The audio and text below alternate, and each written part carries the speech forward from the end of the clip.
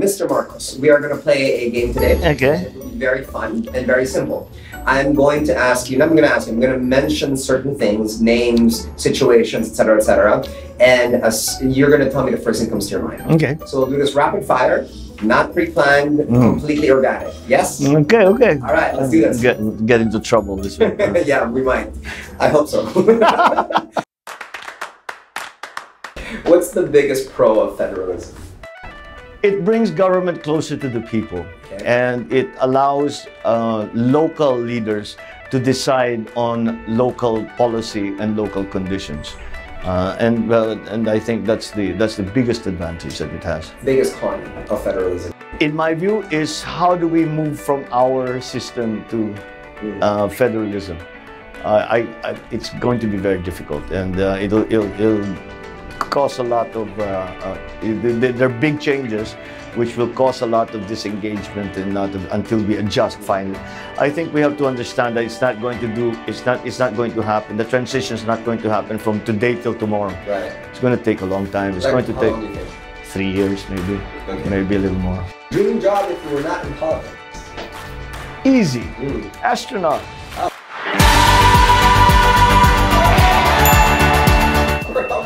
Yeah. That's, like, I- easy. our vlogger here asked, asked me to ask you this. What, what would, you, if you were asked to, if you could go to the moon or Mars, you would say yes in a heartbeat. Yeah, Yeah. easy. I actually got I actually got from Richard Nixon Yeah. when Richard Nixon came on a state visit to the Philippines. I was told to attend. I was asked to attend the state dinner, Yeah. and during the state dinner, during the toast, he asked me to come up. Richard Nixon asked me to come up, What? And he gave me the first commercial ticket on the first flight to the moon. That's crazy. Yeah. I just got goosebumps. Yeah, So yeah, it's true. What an amazing Because I was nuts. I'm just, I'm just completely nuts. That's why astronaut, you know, because because when we when my father went to the states for 1968 for his uh, state visit, Mhm. I was asked by uh, uh, uh, Congress Senator Inouye of Hawaii when it was our first stop was uh, was Hawaii. And he says, "What would you like to do?" And I said, "I want to go to NASA." Mm. So they took me to they flew me to Florida. What? When I, my dad was in Washington, they put me on a plane and flew me to Florida. So nuts. And I saw all of these things that I was just like, ah, you cannot imagine. So that, Well, that yeah, so you know, g- go up in space. I mean, it's, it's been my dream.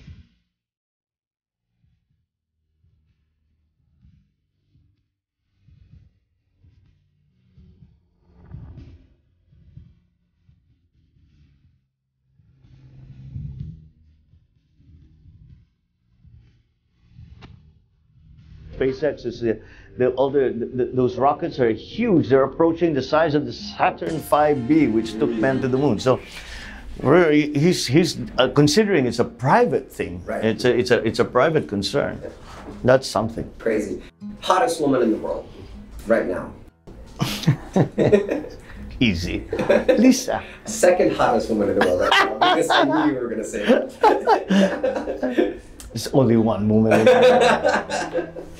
Lessons to all the bachelors. yeah. Okay. Uh, Manny Pacquiao.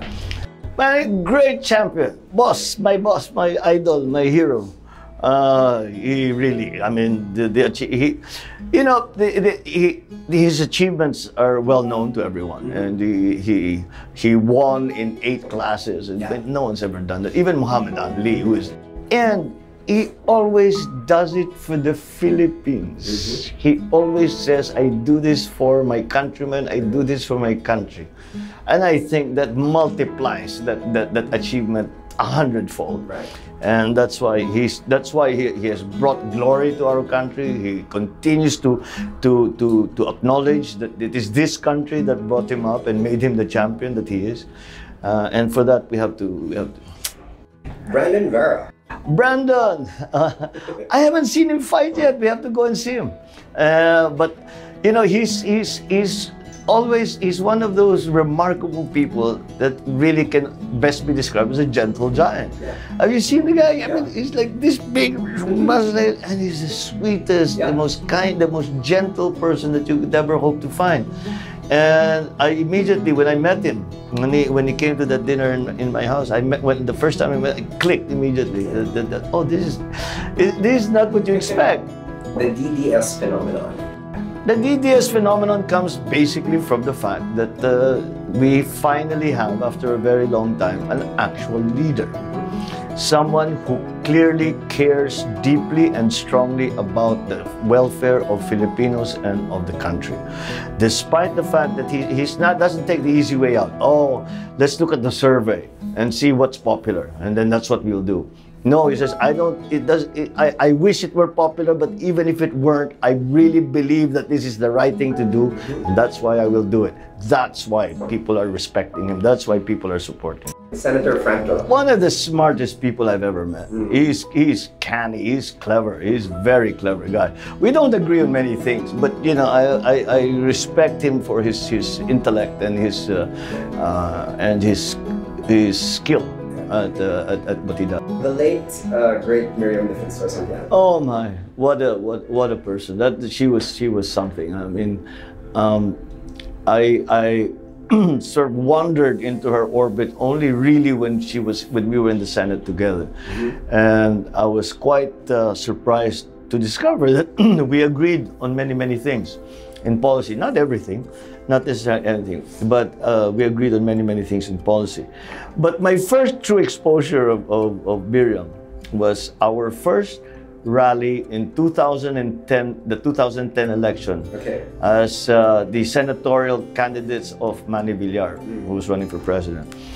And she goes up to, and we were allowed, all of us were allowed, because there are 12 of us, and so we were all allowed five minutes to speak. This was the first speech of the campaign.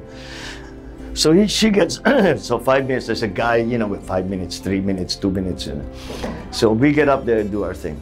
And Miriam, of course, because she's Miriam, Yeah. she shows up and the schedule is changed. Miriam goes next. So Miriam goes. And she goes, she makes a hilarious speech like only Miriam could make. She was talking about backhoeing people because they were corrupt in government. So what is a backhoe? Remember, because it, the Ampatuan case had just happened, yeah, yeah, yeah. where they Oh. backhoed the, yeah. Oh, yeah. And I said, can you say that? It's too soon, right? But she could, and people laughed. And only, like I said, only Miriam, uh, only Miriam could, could pull that off. Anyway, there's the, the, the fellow with the three minutes, the two minutes, and so finally, time. So she, so she comes down, clearly not finished with everything she wanted to say. She sits down next to me. I guess all of the material that she had prepared, that she wasn't able, she used on me. I was an hour and a half cracking up. I mean, she just made me laugh, and she made me laugh, and she made me laugh. And uh, since then, our friendship was cemented. Yeah.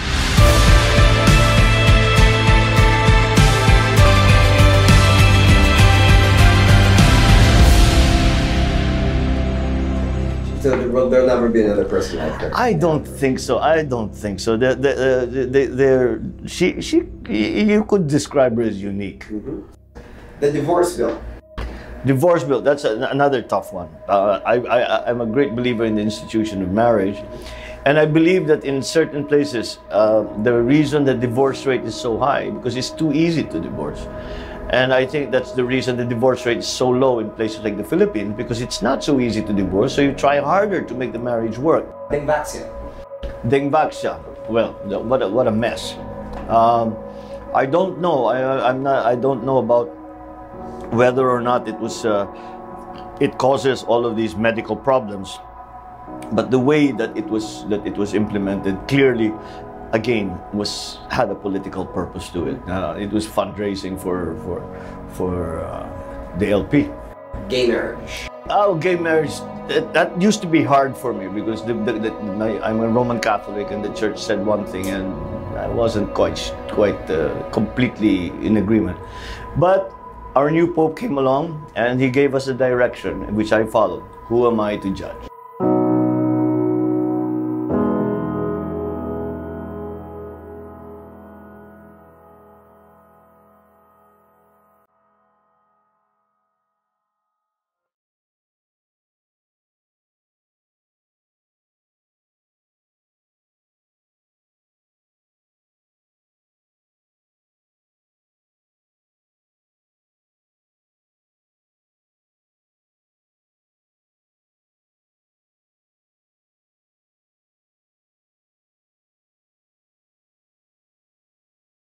Ba, ngayong araw na ito, May 9. May 9, ibig sabihin, dalawang taon na mula ng eleksyon. Kaya napakatagal masyado. Sabi ko doon ang, ang, ang, ah, ang ah, inaalala natin, yung 2 years ng May 9. Ito naman banda rito, 91 days naman ang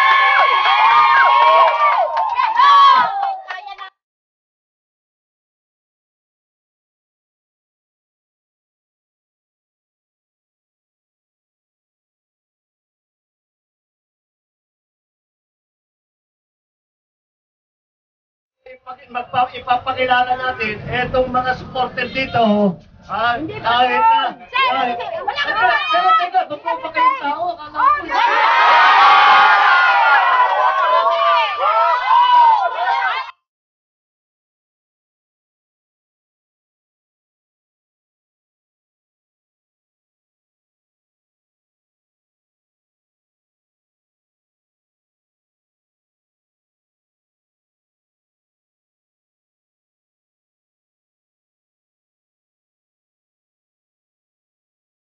Kahit 91 days, hindi natin bibiniwan ang ating pinaglalaban na katotohanan, katarungan at ang tamang resulta sa nakarang halalan. Maraming maraming salamat!